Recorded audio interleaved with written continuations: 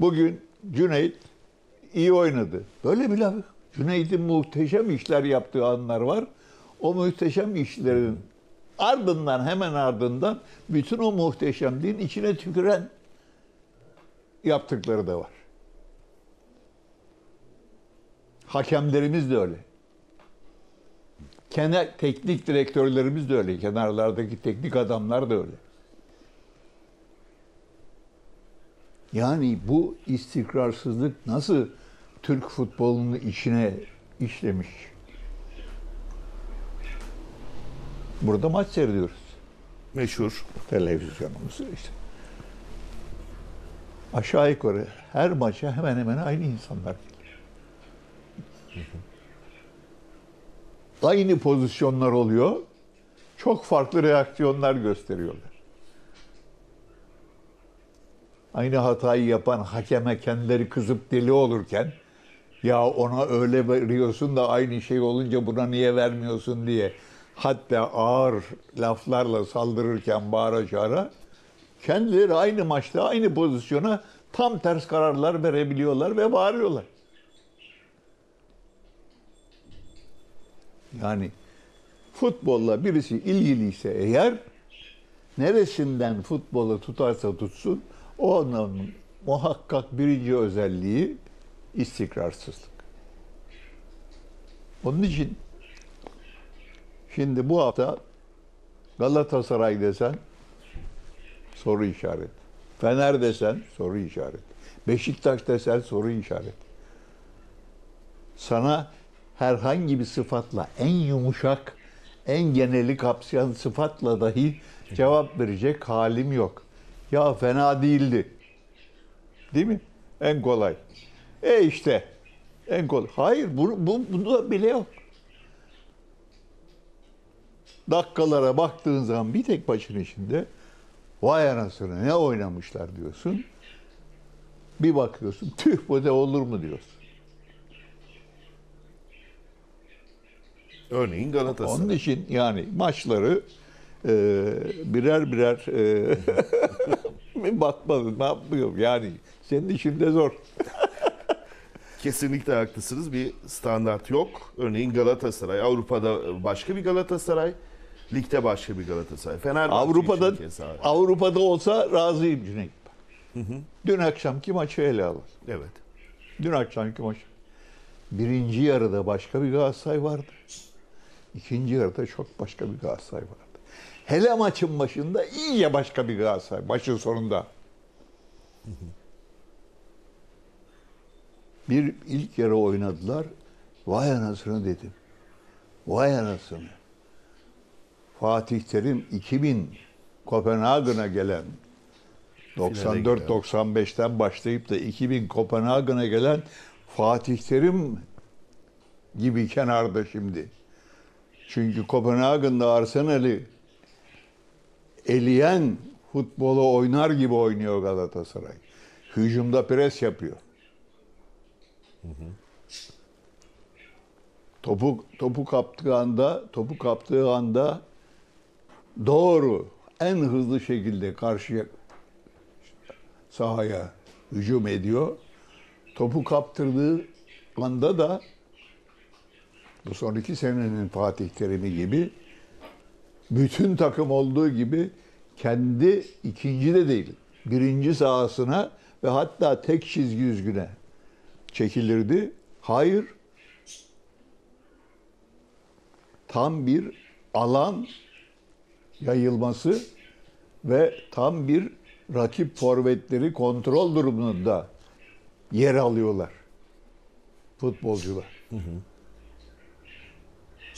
Herkes nereye ve kime doğru koşacağını biliyor adeta. Böyle bir geniş alan. Dedim ki tamam ya. Fatih'leri bugünkü kadar yaptığı hataları analizini yapmış, öz eleştirisini yapmış, belki videolarını da seyretmiş. Belki bu videoları 2000 yılının Fatih Terim takımıyla da karşılaştırmış. İşte o futbola doğru dönüyor. Şöyle oturdum, yaslandım. Dedim ki maçın sonucu gerçekten hiç önemli değil. Bu futbol oynasınlar, canımı alsınlar. Demez olaymış. ikinci devre eski terim topu Galatasaray aldığı zaman o nefreti iki stoper ve kaleci üçgeninde dönüşler vakit geçirmeye yönelik. Futbolu öldürmeye yönelik. O maçı seyreden Avrupa'da, Türkiye'de, Fransa'da, Avrupa Ligi ile ilgili bütün diğer rakip ülkelerdeki milyonlarca insan futbol seyretmek için oturuyor birinci planda oraya. FIFA, UEFA bas bas bağırıyor. Efendiler hızla düşüyor. Gerek tribünlerde gerek ekranlardaki seyirci sayımız. Bunların düşmesi demek futbolun para kazanmaması demek. O zaman sizler de bu kadar para kazanamazsınız. Ey futbolcular, teknik direktörler, kulüp yöneticileri kendinize gelin diye bas bas bağırmasına rağmen umurunda değil. Galatasaray o birinci devre Kopenhagen futboluna doğru müthiş bir gösteri yapan Galatasaray maçı öldürmeye yönelik bir küçük takım. Ne kadar vakit kazansam kardır. Beş yiyeceğime üç yerim, üç yiyeceğime bir yerim. Görünümünde Galatasaray'a yakışır mı böyle bir futbol? Aynı maçtan söz ediyorum dikkat. et. Ne oldu? Ne oldu da o Fatih Terim gitti, bu Fatih Terim geldi? Aslında o Fatih Terim biraz da ligdeki Fatih Terim değil mi? İkinci yarıdaki. Ama Göztepe maçında bu futbolun ışığını yakmıştı. Evet. Yani son dört maçında 10 puan kaybedince iki beraberlik, iki mağlubiyetle gelince anladı ki anladı ki o iğrenç futbolun şeyi yok. Sonu yok. Göztepe maçında gerçi Göztepe de geçen sene Göztepe'lerle alakası yok. Tam bir hani eskiden e, sezon açılırken hazırlık maçlarını adı sana olmayan takımlarla oynarlar diye rahat olsun, sakatlık olmasın diye. Ne bileyim Türk Hava Yolları diye bir takımla oynardı öyle bir takım. Amatör ligde var ne var? Öyle. O ayarda futbol oynuyor. Göztepe Göztepeliğini kaybetmiş. Kalmamış Göztepe ortada. Y'si kalmamış. Ama gene de o ümidi vermişlerdi bana. Ve birinci yarıda da o ümidi taşıyarak taşıttıracak futbolu oynadılar.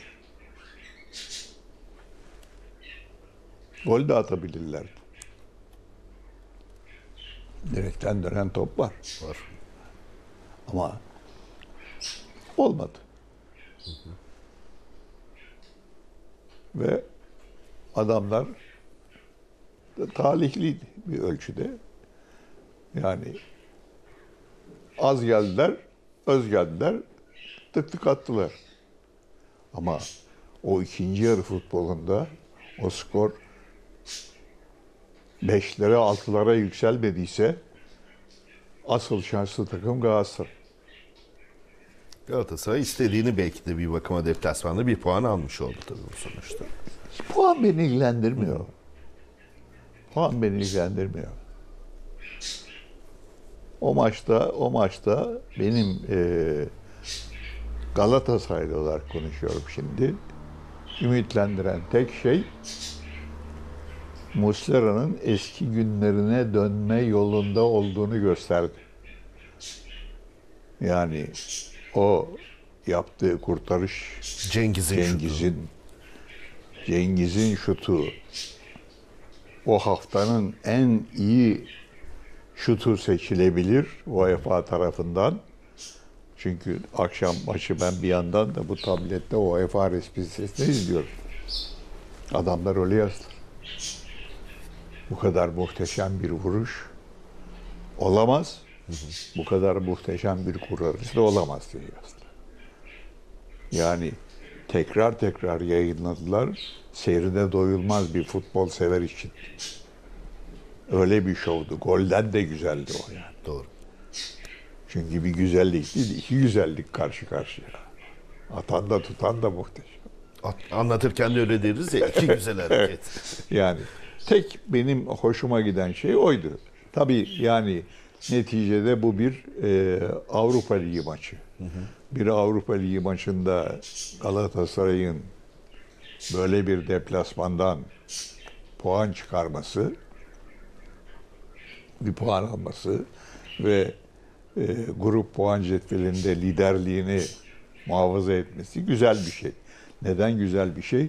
Çünkü bir de bizim Avrupa klasmanındaki yerimiz çok düşük iyice. Yani bugün gazetelerde bir de okuyorum. 19'unculuğa düşmüşüz. 15'ten aşağı olduğunuz zaman gelecek sene Avrupa Ligi'ne doğrudan girecek takım yok. Şampiyonlar Ligi'nden üçüncü olup dönen takım olursa Avrupa'da olacağız biz. Bu demektir ki bu sene 15'in altına inemezsek yani şu andaki sistemi muhafaza edemezsek gelecek sene daha da azalacak puan alma ihtimalimiz Avrupa Ligi'nde Tabii. olamayacağımız için ondan sonra onun için yani global geniş baktığın zaman geniş açıdan nasıl olursa olsun puan almak çok önemli. O klasmanı o puanlar belirliyor çünkü. O güzel bir şey. Grup e, liderliğinde devam etmek güzel bir şey. Gruptan çıkma ihtimalimiz artıyor. Çıkmamız demek üst turlarda da yeni maçlar oynayıp yeni puanlar alma ihtimalimiz demek. Bunlar genelde güzel. Buna kimsenin itirazı yok ama ben seyrettiğim futbol olarak bir futbol sever olarak evvela ve evvela zaten benden beraber seyredenlerden en çok ayrıldığım yan burası. Ben önce futbol seyretmek istiyorum.